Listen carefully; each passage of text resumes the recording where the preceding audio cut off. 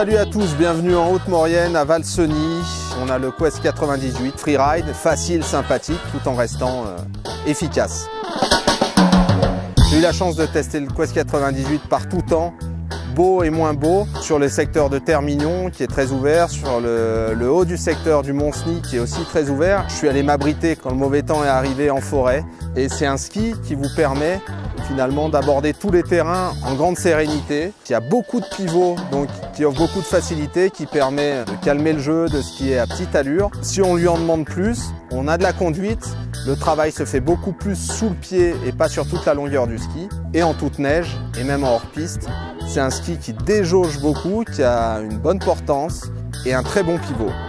En trafole ou en forêt, ce ski est intéressant, notamment par son déjaugeage, hein, on est tout de suite en surface, mais aussi parce que son pivotement assez fort permet de se faufiler finalement, de se placer là où on veut, on se sent jamais pris au dépourvu, jamais obligé de subir la pente, on reste serein à vitesse modérée, voire à vitesse faible, et on peut quand même envoyer, avec certaines limites effectivement, soit la neige durcie, soit, euh, soit à très grande vitesse on ne peut pas venir forcément s'appuyer complètement sur la languette. Le ski perd un petit peu en stabilité. On est sur une construction 100% bois, semi-sandwich. On a un champ droit sous le pied pour garder de la puissance. On a une construction euh, monocoque aux extrémités qui offre plus de facilité, plus de souplesse. On a un rocker très progressif devant, un corne sous le pied. On a un talon légèrement relevé.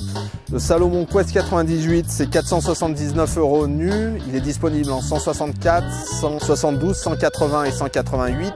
On a 98 sous le pied. C'est vraiment un 50-50. Il est aussi bien sur piste qu'en hors piste. C'est un ski qui ne cherche pas forcément la performance. Il en possède, mais il ne la cherche pas.